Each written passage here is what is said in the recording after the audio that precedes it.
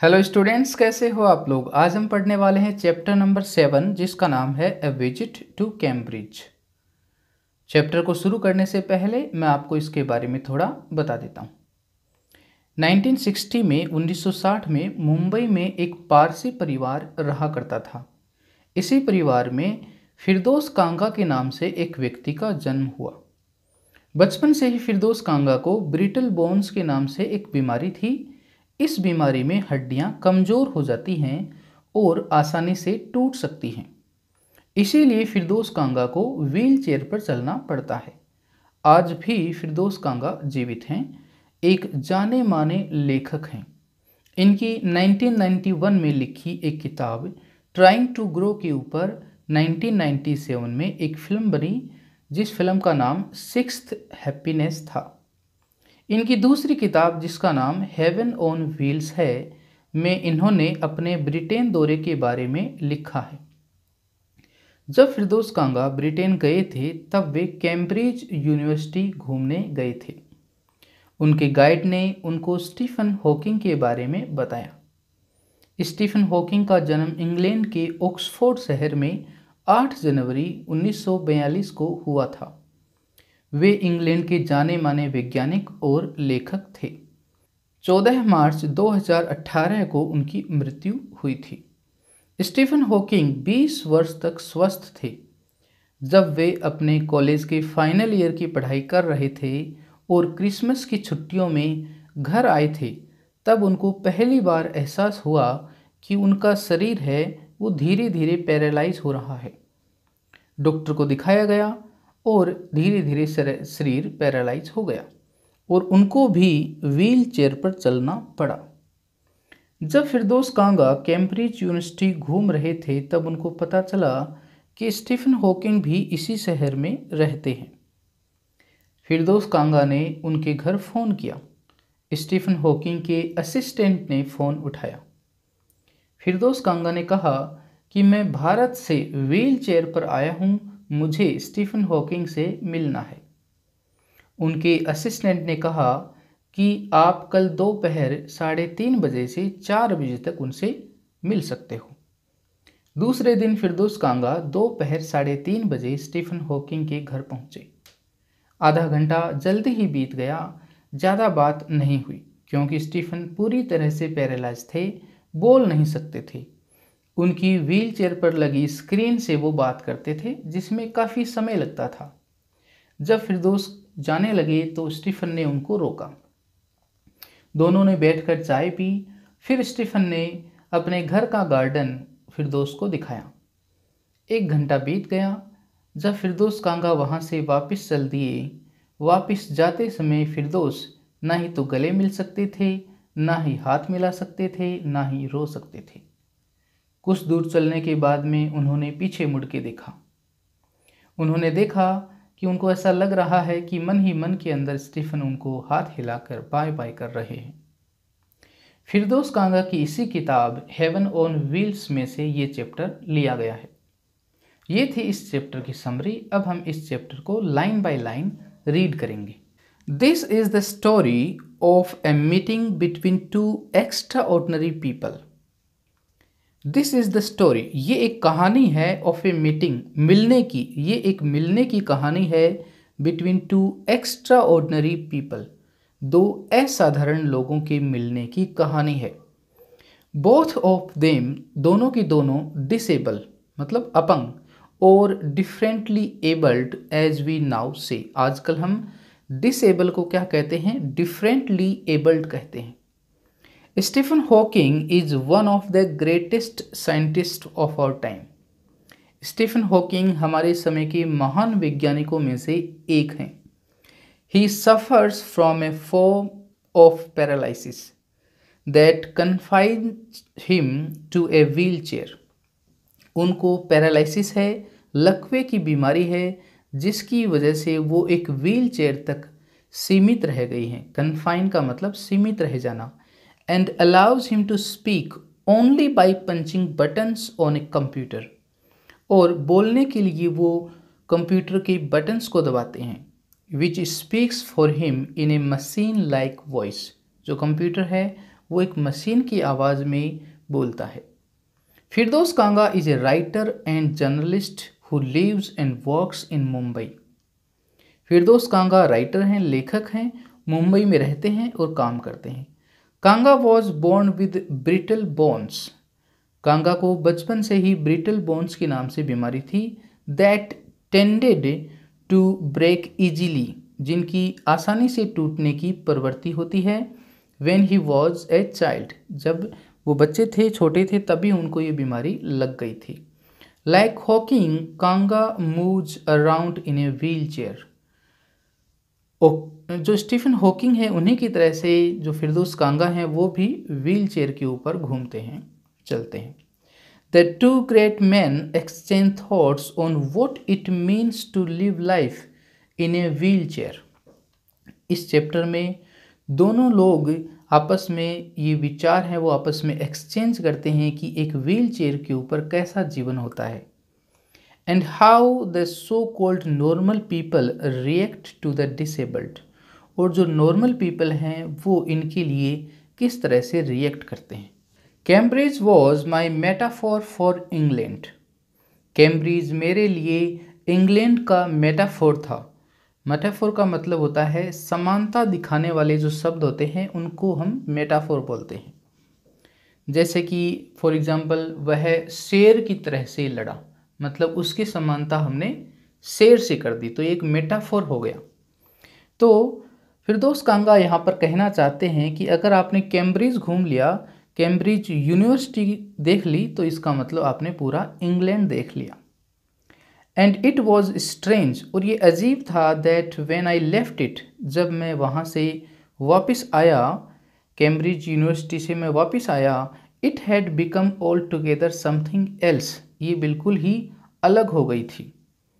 Because I had met Stephen Hawking there क्योंकि मैं वहाँ पर कैम्ब्रिज में स्टीफन हॉकिंग से मिला It was on a walking tour through Cambridge that the guide mentioned Stephen Hawking. मैं कैम्ब्रिज के अंदर कैम्ब्रिज यूनिवर्सिटी के अंदर है, वो टूर ले रहा था, तभी हमारे गाइड ने स्टीफन हॉकिंग की चर्चा की, उनको मेंशन किया पुअर मैन बेचारा आदमी who is quite disabled now जो कि अभी डिसेबल हो चुके हैं, अपंग हो चुके हैं। क्वाइट का मतलब ऑलमोस्ट लगभग। दो he is a worthy successor of to Isaac Newton जबकि अगर वो अपंग नहीं होते तो वो आइजाक न्यूटन के सक्सेसर होते। मतलब जो कुर्सी, जो पद न्यूटन के पास था, वो उनका होता। न्यूटन के पास कौन सा पद था? Whose chair he has at the university जो कैम्ब्रिज है, उसके अंदर जो एमपी की पोस्ट थी मेंबर ऑफ़ पार्लियामेंट उसकी पोस्ट पर न्यूटन थे, अपने समय पर। और इस समय स्टीफन हॉकिंग हो सकते थे, लेकिन वो अपंग हो चुके हैं। इसलिए वो एमपी मेंबर ऑफ़ पार्लियामेंट कहाँ से कैम्ब्रिज से नहीं बन सकते। And I started because I had quite forgotten that this most brilliant and completely paralysed astrophysicist और फिर मैंने शुरुआत की उनसे मिलने की, क्योंकि मैं उनको बिल्कुल से भूल गया था कि ये जो ब्रिलियंट और एकदम से पैरालाइज एकदम से जो लकवे से के शिकार जो एस्ट्रोफिजिसिस्ट हैं, वैज्ञानिक हैं the author of a brief history of time और ये जो किताब है a brief history of time इसके लेखक हैं one of the biggest best sellers ever lived here और मैं भूल चुका था कि कैम्ब्रिज के अंदर ही वो रहते हैं। और इनकी ये जो किताब है, ये बेस्ट सेलर रही है, सबसे ज़्यादा बिकने वाली किताब रही है। When the walking tour was done जब घूमने का काम पूरा हो चुका था I rushed to a phone booth तब मैं जल्दी से एक फ़ोन फ़ोन बूथ के ऊपर गया। And almost tearing the cord so it could reach me outside और मैंने उस कोड को इतना खींच लिया, उस वायर को इतना ज़्यादा खींच लिया कि वो एक बार तो टूट ही जाता, ताकि वो मेरे पास बाहर पहुँच सके, क्योंकि फिरदोस कांगा है वो व्हील चेयर पर हैं। फ़ोन स्टीफन हॉकिंग्स हाउस जो स्टीफन हॉकिंग हैं, उनके घर उन्होंने फ़ोन किया।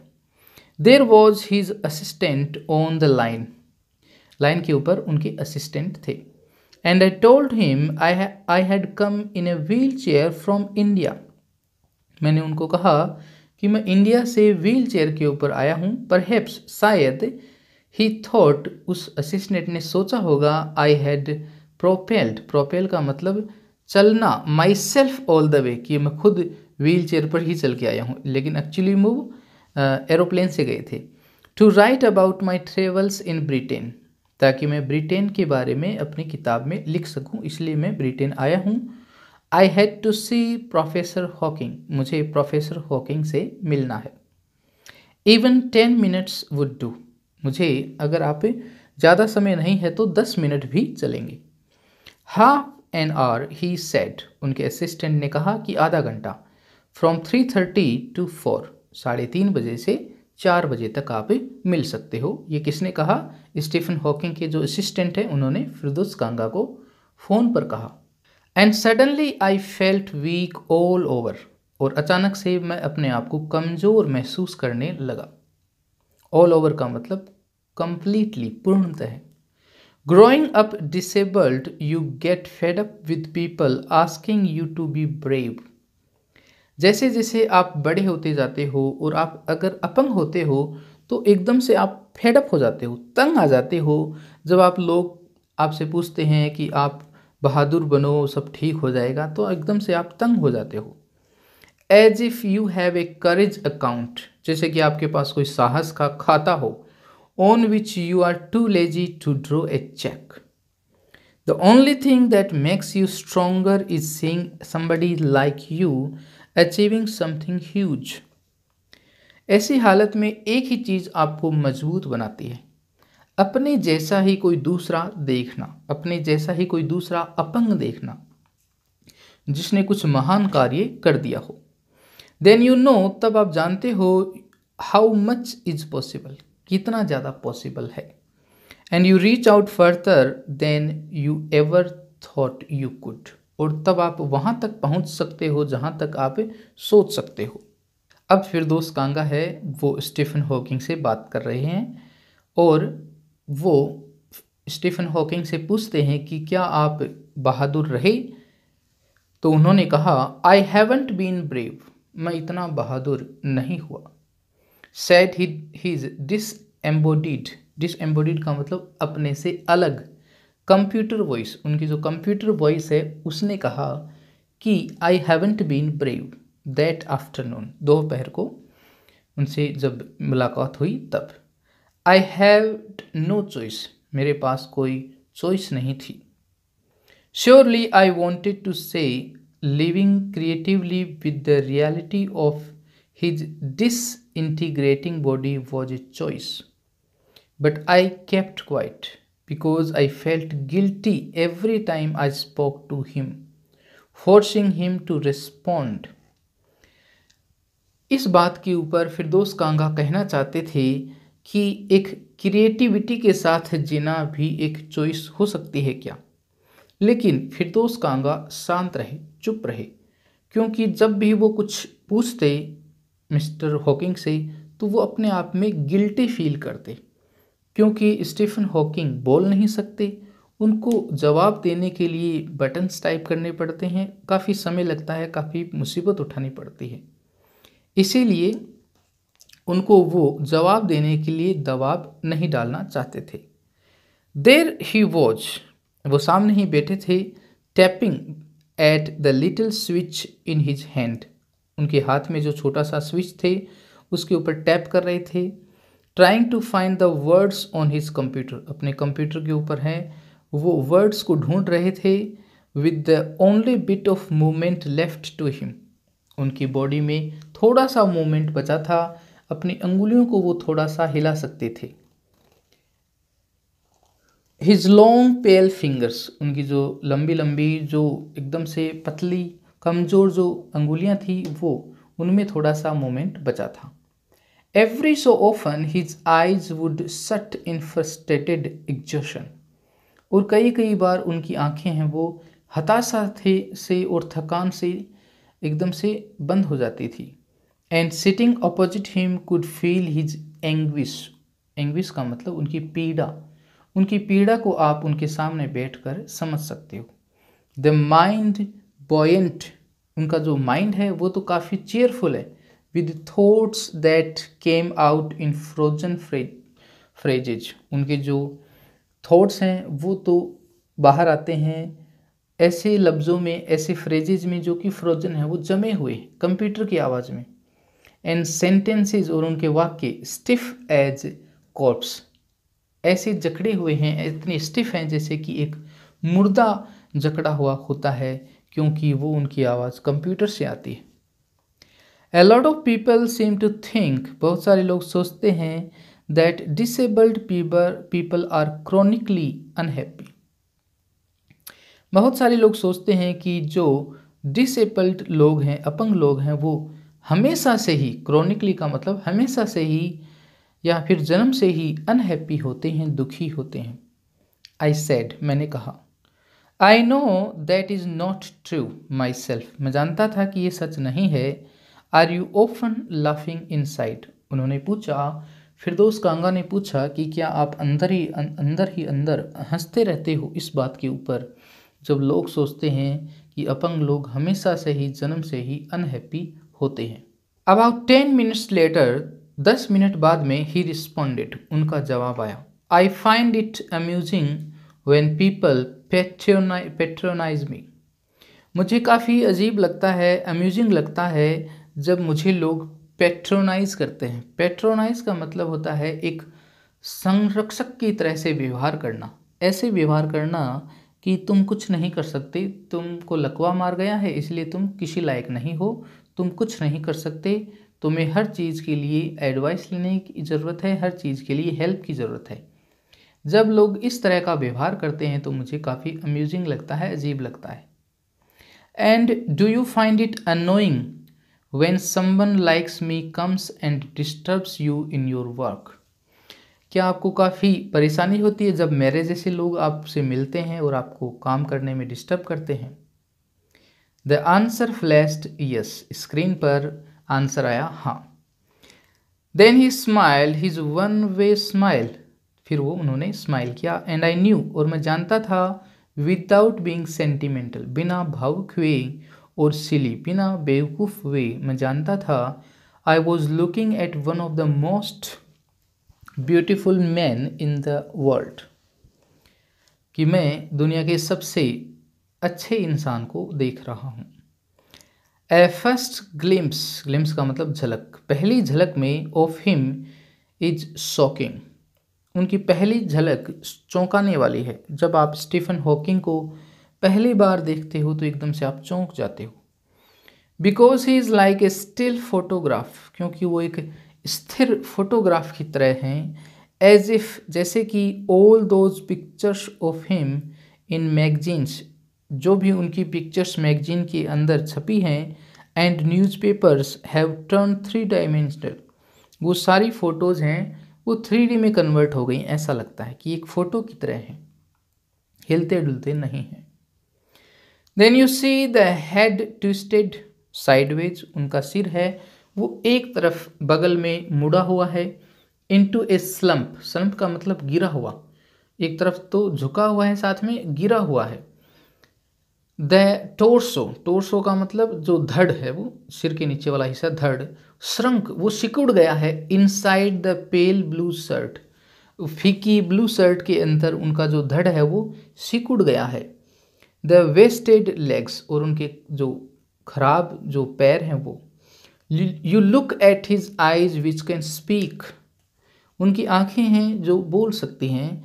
स्टिल वो काफ़ी शांत हैं and they are saying something huge and urgent वो बहुत ही बड़ी चीज़ें बोल रही हैं, काफ़ी अर्जेंट चीज़ें बोल रही हैं।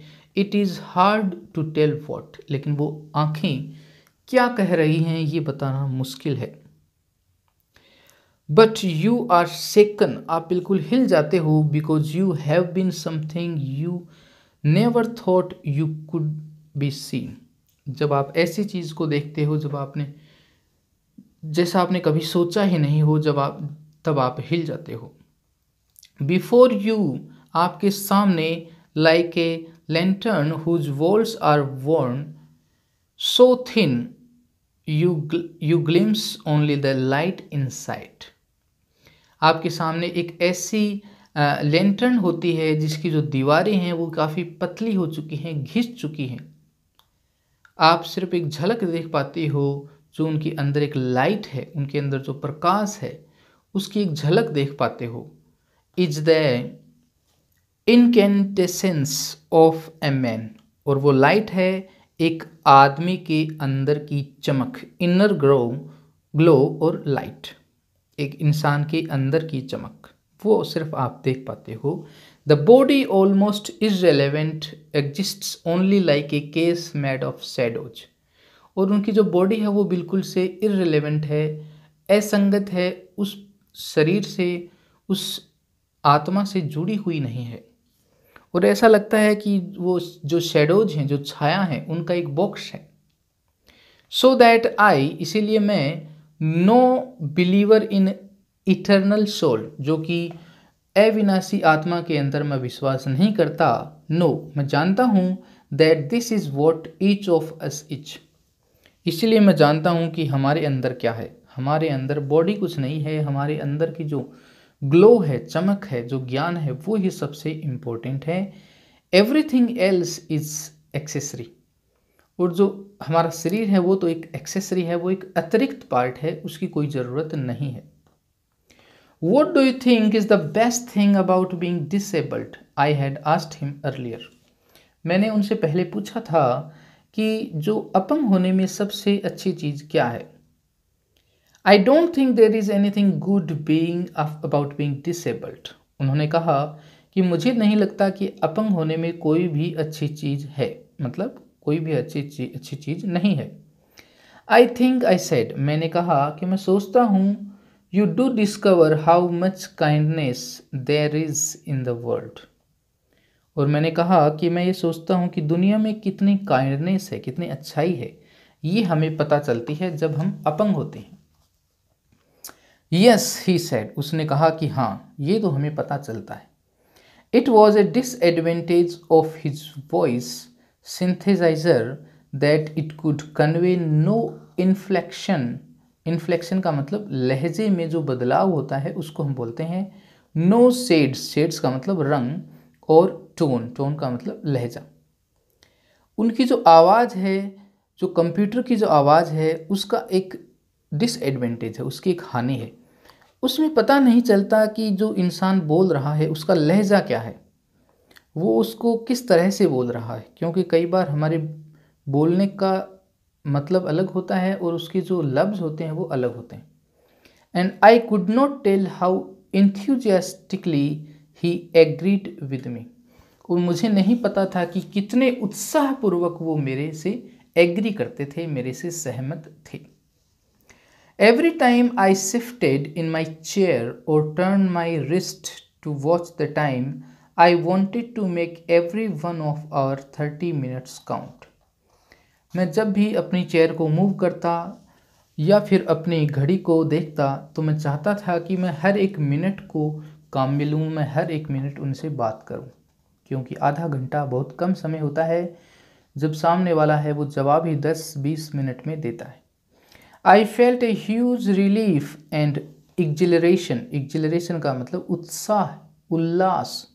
हर्ष खुशी in the possibilities of my body मेरी बॉडी में कितनी ज़्यादा संभावनाएँ हैं, कितने ज़्यादा मैं काम कर सकता हूँ, ये जानकर मुझे काफ़ी खुशी हुई, क्योंकि फिरदोस कांगा है, उनको पैरालिसिस नहीं है, उनको ब्रिटल बोन्स हैं और वो काफ़ी तौर पर एक्टिव हैं।